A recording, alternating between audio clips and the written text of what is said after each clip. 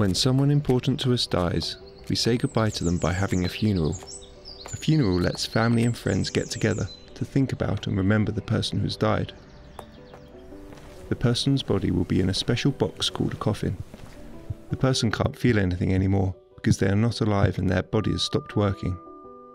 On top of the coffin, there might be flowers or other things that remind us of them. People will talk about the person who has died and the kind or funny things they did. They might also play some of the music they liked. Some people might cry because they feel sad that they will never see the person again. Other people will smile thinking of all their lovely memories. It's okay to be sad, and it's okay to smile too. After everyone has gone, the coffin is put into a place in the crematorium that turns the body into ashes. Later on, the ashes are put into a pot called an urn. Some people choose to take the urn home.